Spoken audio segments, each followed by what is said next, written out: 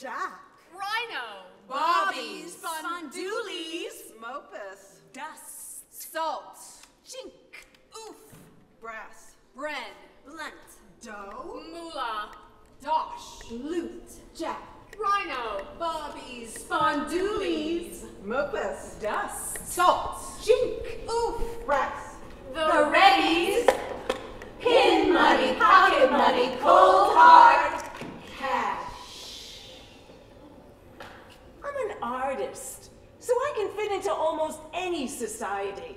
I can be with kings and queens. I have manners. Classy. My mother was Slovak. She had Czechish airs. It was very important for her to give me brains, beauty, and breeding. Those were her three B's.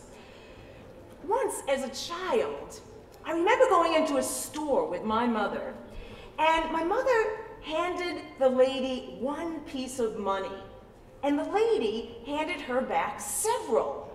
And I was astounded. Mommy, how could that happen? She gave you back so many. You only gave her one. You know, in Portugal, it was very clear. You were poor or you were rich. There's only recently a middle class in Portugal. You'd hear people say, Enrica, she's rich. And then they would be like, é muito pobre, she's very poor. And usually it was she was very poor, not he was very poor. and she was poor because there wasn't a man around to help. So we would bring her food. And those things stay with you. When I was in third grade, we moved from Palisades Park, which was a Catholic town, Irish and Italian Catholic, to Teaneck, which was almost entirely Jewish. And Teaneck was a huge change. I remember a kid asking me, how much property does your father have? property? I didn't know what property was. But he's got 10 properties in his workshop. And Teaneck was a place where women wore mink stoles to Rosh Hashanah. In September, mink. I was an early refusenik. I have read, psychically read, for some of the richest people in the world. They've been in this little tenement building. They've sat in that chair. Last week, I had two princesses, the mother and the daughter. Princesses. Talk about rich. I love this little place. It's beautiful. It's bohemian. they, they come from palaces. And I have this little bathtub in my kitchen.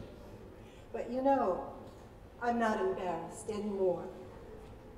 Because I have my knowledge, my wisdom. That's my bag of gold. That's my gift.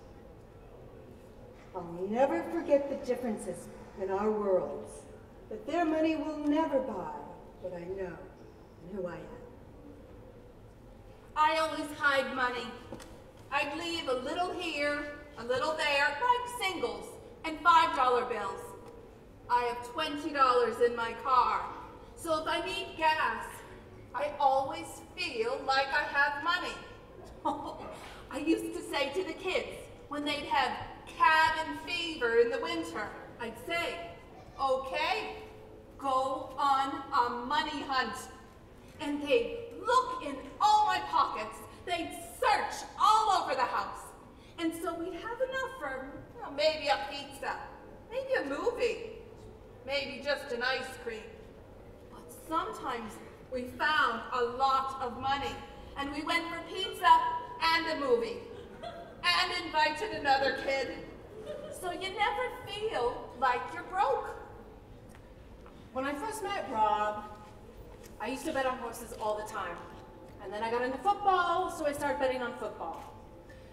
I was really good at it, but we went to a bar one night and Rob said, you know, this makes me really uncomfortable. So I put the books away and I didn't do it. I didn't gamble for many, many years. And then one winter I went down to Florida and my cousin Keith taught me how to play poker. He took me to the casino where his wife worked and I did great because it's all about percentages and numbers plus reading people's part of my job.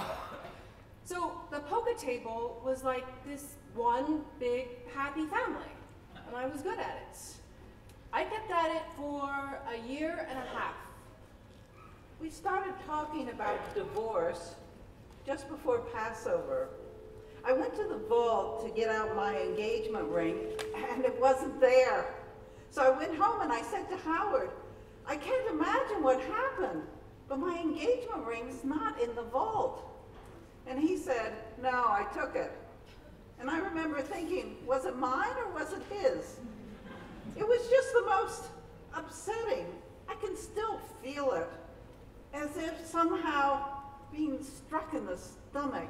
I said, What do you mean you took it? And he said, Well, I had it appraised. I'm probably going to sell it. I'm going to need the money.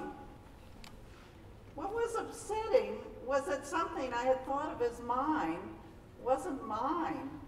And I realized that the house we lived in was his, and that in a real sense, I was a non person. He was getting on with his life, and mine was over in his eyes. It was very brutal, very brutal. My mother's very thrifty and careful with money, while my father was more extravagant and kind of reckless.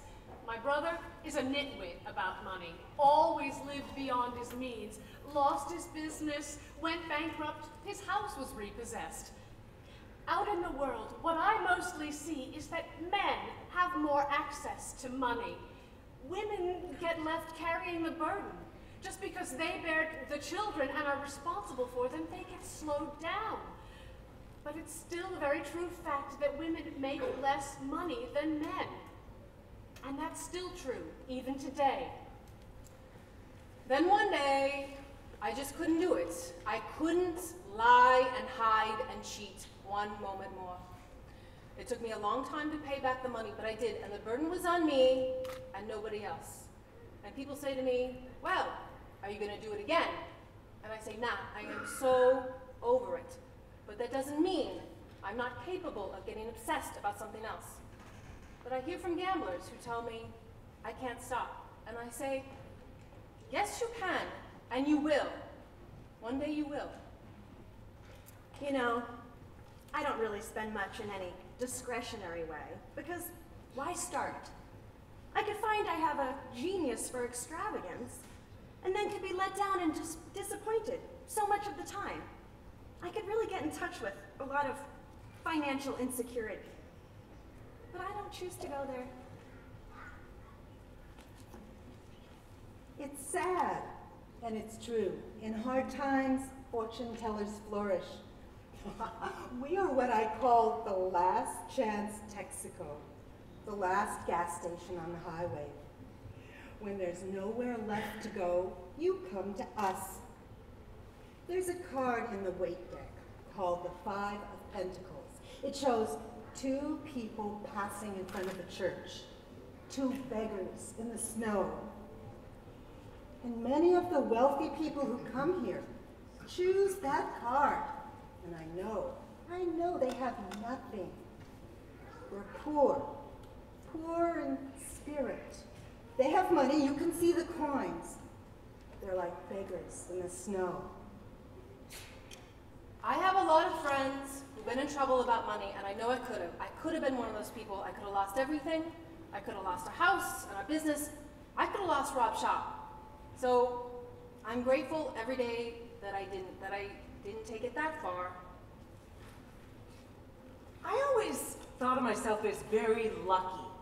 My parents gave me good manners, good education, a good head on my shoulders. And they left me a warm fuzzy, money. It was not massive, never massive, but I always walked around as if I had all the money in the world. You don't have any money? I'll take you out. Because I always felt and believed that that was correct, the correct behavior, that I had abundance. My grandfather's saying was, if you're ever feeling poor or down on your luck, give something away. Help somebody else, and you'll feel rich. You'll be rich indeed. Across the whole of the American continent, the talk of money is never quiet.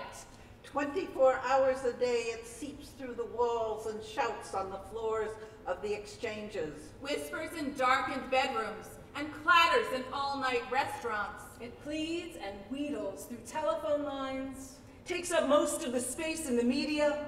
Screams across kitchen tables, worries in elevators. Makes crazy the would-be artists in the gloom of the avant-garde. Nobody ever has enough.